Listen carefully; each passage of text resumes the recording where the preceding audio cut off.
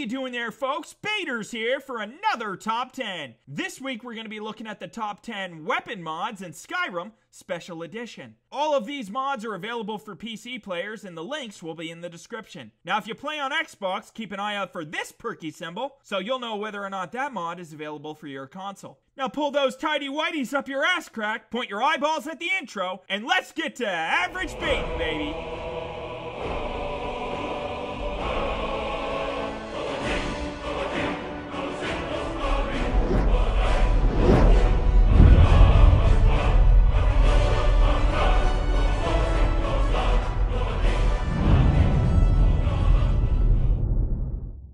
Number 10, we have the Valiant Nordbow by Corvalho1. Now, the only thing worse than having a shitty looking bow and arrow set is being chased by a bear that has a key to your apartment and knows where you live. And that would only be slightly worse. This mod is the answer to that age old question can I make a bow that doesn't just look like a 10 year old tied a string to a broken tree branch? The answer is yes, and this weapon mod is proof to that fact. This mod adds a delicious bow and arrow set that is so easy on the eyes. It's weird being sexually attracted to an inanimate object, but I'm not gonna let society tell me who or what I can love. The first time I laid eyes on this bow, I knew. I knew that someday, someday I would be lubed up, lying face down next to this bow. This mod adds a new custom bow and arrows to the game, including quiver and projectiles. To acquire these items, you can craft them under the steel category at the forge. The mod author did a great job on the textures and design for this weapon, and the fastidious details solidify its craftsmanship. When I use this weapon, I feel like enemies just want to be shot in the face by my arrows. Like they see me walking down a cart path, and they just run out in front of me and say, Hey, can you please put your arrows inside of me? So I do. Now, this bow and arrow combination is a wonderful addition to Skyrim, one that makes exploring the world feel so much more satisfying. I rate this mod one photo of the fastest bike on Earth. When that propeller starts, it can reach speeds that could almost be considered dangerous. At number 9, we have Draugr Weaponry by Destero. I don't know about you guys, but I actually feel bad for the Draugr. I mean, they look anorexic as fuck, like they haven't eaten in like a hundred years. They probably smell like a dead fart too. And if I had to guess, I bet if you kicked them in the armpit, they'd probably cry like a little bitch. With that said, I figured they really just needed a win. So what better way to show the Draugr you care about them than giving them some new epic weapons to use when they're chasing you down a dungeon? This mod ameliorates that by adding some badass looking Nord weapons to the game. Now these weapons come in two variants. There is a replacer variant, as well as a standalone variant, depending on whether or not you want to keep the old ancient Nord weapons in the game. A sort of a before they were cool sort of thing, I guess. Now the replacer version is really where it's at, because that will actually put these weapons in the hands of the Draugr, which is kind of the point. The replacer version will add a lot more weapons to the equipment of the Draugr, which also includes hammers in different variants. The only weapons of the ancient Nord this mod doesn't touch is the bow. There are also three shield variants that are added, one that replaces the normal iron shield but only in the leveled lists of the Draugr and another two shields that are added as standalone variants, which adds more to the game even though it's a replacer. I rate this mod the one expression that just says, I cannot believe it's not butter. It's just unbelievable. I really cannot believe this is not butter. At number 8, we've got More Weapons Please by Relinquish. Have you ever said to yourself, fuck, I wish there was more weapons in Skyrim, that way I could show them off to Delphine, and maybe she'll show me her titties. Well, boom! This mod's got what you need. Once you install this mod, Delphine will be calling you non-stop like a girl you just started dating who has serious boundary issues. Holy hell! What the hell are you doing in my closet? I missed you. I missed your face. For those of you who are interested, the original mod author was Gosu, and this mod, like many others on this week's list, is a port from the original Skyrim. However, the new mod author did an excellent job bringing these weapons to Skyrim Special Edition, as they look and function perfectly in the world.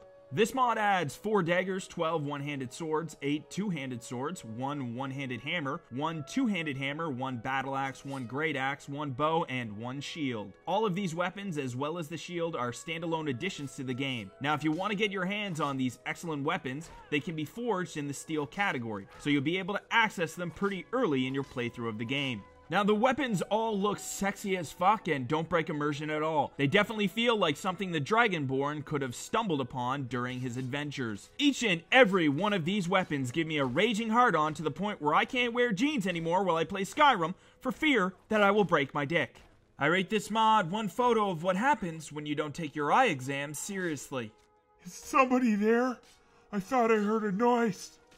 At number 7, we have The Witcher Silver Swords by Kimino. Now, this mod was ported to Skyrim Special Edition by TFBO, who did a great job bringing this mod over for everyone to enjoy yet again. This mod adds the type of sword that just commands respect. Like when you wear this sword in your travels, people will just stop and stare. Sometimes they'll even go as far as to wink and give a thumbs up.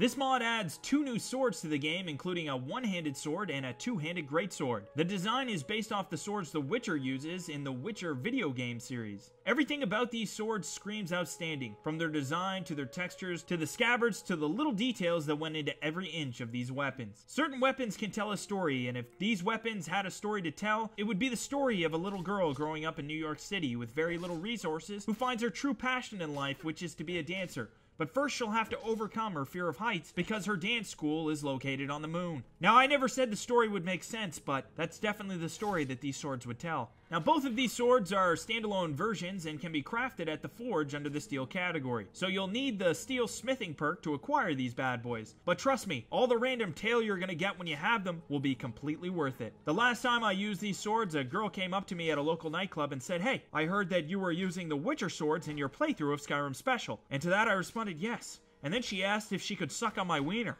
So these swords are basically a sure thing. I rate this mod two people reacting to a naked guy doing karate in the middle of the street. I'm not sure who to be nervous for here, the guy or oncoming traffic, because that guy really knows his stuff. Have you seen his kicks? I mean, they look ferocious. At number 6, we have Eimar's Edge by QR Vizone. Are you the type of person that's really into purplish bluish jewelry? Like the first time you saw the Titanic and that old lady threw the heart of the ocean overboard? Did you freak out and throw your fucking TV through the window? Oh, are you out of your fucking mind? Bitch, you better know how to swim. I know I did. Now, if you're really into having a blinged out sword to sport around as you travel the hilltops of Skyrim, then this mod has everything you need. Now, this is yet another excellent port from Skyrim Original. This mod adds a one-handed steel sword with a silver hilt to the game. Now, the sword is craftable at the forge, and it is temperable at the grindstone. It has the same weight as the steel sword, and the same damage as the vanilla ebony sword. Now this sword looks amazing. The bluish purple jewels coupled with the engraved blade makes the stuff Greymane does look like a toddler's brain fart. I'm pretty sure I can build you a sword, but it's gonna have to be out of Lego. Now this sword has a really unique design and doesn't look like any other sword I've seen in Skyrim. It's very immersive and is the type of sword only those of noble birth would be wielding in battle, which is great for the Dragonborn because he has the most noble blood of all, that of a dragon. This is an excellent weapon mod that really captures the essence of Skyrim while still making something completely original. I rate this mod one baby that knows mixed martial arts. Okay, tap out Whiskers, or I'll break it. Damn you and your pride, Whiskers. Just tap the mat, it's over. At number 5, we have The Long Claw by I'm Some Dave. This mod adds the Long Claw, which is loosely based off of a real sword and also loosely based off of the sword Jon Snow throws around in the hit television series Game of Thrones, which is also a series that is based off of a number of books, or so I'm told by people who can read. But honestly, I doubt it, because who even writes books anymore? Probably those sad people who don't own a TV. Now, there are two versions of the Long Claw that can be added to the game. There is a version where, in order to obtain the Long Claw, you'll have to complete a mini quest. In order to start that mini quest, all you'll have to do is kill a wolf. Not any specific wolf, just a wolf, really. This quest is just really into killing wolves, I guess. When you kill the wolf, something will happen and the quest will be underway. Follow the quest, and at the end, you'll be rewarded with this sexy bastard.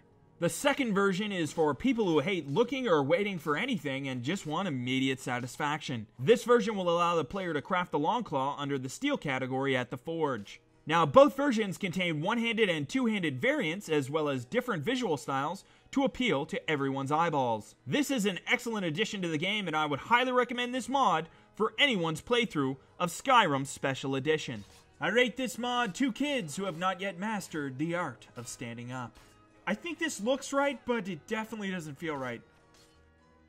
At number 4, we have Weapons of the Third Era by 747-823, who's not to be confused with his younger brother, 747-822. Weapons in Skyrim are really one of those things you can just never get enough of. Getting more weapons in Skyrim is like getting everything you wanted for Christmas, and then, just as you're about to put the tree away, Santa Claus falls down your chimney and throws a giant bag of money right at your face. This mod adds tons of new weapons to the game, including new katanas, longswords, tantos, and much, much more. All of these weapons are craftable, most of which can be crafted under the steel category at the Forge. They have all been added to multiple leveled lists, so you'll be able to find them on fallen enemies throughout the world. All of these weapons are immersive and fit in perfectly to Skyrim's lore. These weapons are all great quality with outstanding craftsmanship and great custom textures. Now, this is one of those mods that once you have it installed in your game, it's very difficult to picture Skyrim without it. So even though the original mod author is no longer actively updating his mods anymore, at least Coffee Cup was able to port it over to Skyrim Special for everyone to enjoy. I rate this mod the one expression everyone makes when they fart on a packed elevator. Oh, I really hope nobody heard that or felt that on their leg. At number 3, we've got Zikoru Swords Collection by Zikoru. Now, here's some swords you can tell your kids about. And if you don't have any kids, well, then you can kidnap some kids and tell those kids about them. Because these swords are fucking incredible. These swords make me want to wake up a baby and yell at it. Wake up, you little baby! Wake up, wake up, wake up! Have you seen these swords? Lick them with your eyes! Until the baby knows nothing but these swords. Now, this mod adds five new swords to the game as a standalone that all look so realistic, they'll make you want to LARP with your cousin Eddie at the public park, even though those bully kids always throw shit at you guys. These swords truly do look fantastic though, and all come in insanely detailed textures. The five swords are all uniquely named with their very own look and feel. The swords are Mars, Venus, Luna, Terra, and Sol. They all come with their very own scabbard as well, so you'll look fashionable when you're walking around defenseless. Also, they all come in one and two hand variants, so you can really get your fuck on no matter what your playstyle. Unless you're into magic like a weirdo, then these swords are all pretty fucking pointless, aren't they? Now, if you want to get your hands on these fuckers, they can all be crafted at the forge under various categories. Every one of these swords looks like they were crafted with extreme fastidiousness, bringing every detail to life. These weapons will make you feel like you can actually reach out and touch them, or kiss them, or fuck them. I rate this mod one lady who's trying to drink an entire swimming pool. Okay, four gallons down, only 660,000 left. I got this. At number two, we have Isilmeriel's Lord of the Rings Weapons by Isilmeriel. Now, are you a fan of Lord of the Rings? Are you the type of person that has a life size poster of Samwise Gamgee on your bedroom door so that when you close it, you never really feel alone? Does the sight of Bilbo Baggins just make you want to dress up like an elf and rub your nipples? If so, then this mod should be right up your alley. This mod adds a bunch of weapons from the movie and book series The Lord of Rings to the game. Some of the weapons that are added include the sword Frodo uses to cower like a bitch every chance he gets. There's also the Witch King sword, the Wrath Greatsword, Elven short blades, Elven longbow, Sauron's mace, and much, much more. All of these weapons look amazing and have excellent textures as well. This mod author did a great job bringing these weapons to life, not just in Skyrim, but as a whole. These swords are very realistic with high resolution textures and reflections in certain lighting. They also all come with their own unique scabbards, which are so nice they'll make Frodo pull down his pants and spread his ass cheeks apart. I'm gonna do it, Samwise Gamgee. I'm gonna spread them for everyone to see. No, Frodo, don't do it! Basically, the entire movie in a nutshell. All of these weapons are craftable and upgradable, which makes them really fit in nice to the game. These are some of my favorite swords for Skyrim, and I am honestly stoked that they were ported over to the special edition, as I feel it would be tough to have a good playthrough without them. Each weapon looks different and really stands out in the world. Even if you're not a fan of Lord of the Rings, you can still be a fan of these weapons. When I use these weapons, I feel like a kid who just had his first boner. Wow, I really didn't know it could do that. I rate this mod one photo of how countries that don't have any guns fight wars. Okay, so best two out of three then? And at the number one spot, we have Unique Uniques by Insanity Sorrow. Now, one of the most disappointing things there is in life is when you think you're getting something completely unique, but it turns out it's just like everything else. It's like when you think you have this really unique girlfriend, but then everybody laughs at you because apparently she looks exactly like every other blow up doll, except she has real human hair glued to her head. It's easy for people to laugh when they don't know what true love really is. I used to comb her hair every Sunday morning. She might very well have been the love of my life. So it's disappointing to say the least. Well, before this mod, Skyrim was a lot like that, in the sense that when you found a unique weapon, they looked just like the other weapons in their class, except they had altered stats, which was really just not acceptable, and almost made you feel like you didn't find anything unique at all, especially since you can use enchanting and tempering to improve the stats of pretty much any vanilla weapon. Well, this mod sorts that in the best way possible. This mod adds a custom version for almost every unique weapon in the game, so they actually look unique when you find them. Each one of these weapons looks incredible and makes you want to keep all of them in your inventory once you find them. The unique items that are affected by this mod are Angus Bane, Angi's Bow, Bloodthorn, Bolar's Oathblade, Dragon Bane, Kahvozein's Fang, Pale Blade, Red Eagle's Bane, the Long Hammer, Valdr's Lucky Dagger, Windshear, and the Shield of Solitude. This is definitely a must-have mod for anyone's playthrough of Skyrim, regardless of whether you want new weapons or not. This actually makes the uniques unique, which improves immersion and makes for a more convincing playthrough. I rate this mod one dog that went completely insane from being cooped up in the house too long. All work and no play makes Scooter a no fucking dog. Thanks again for tuning into another Top 10. Hope you enjoyed this video, and if you did, be sure to smack your penis against that subscribe button and come back for more fun next time. Be sure to follow us on Twitter for the latest updates on our newest content. The link will be in the description. Hope to see you all again next time for another Top 10.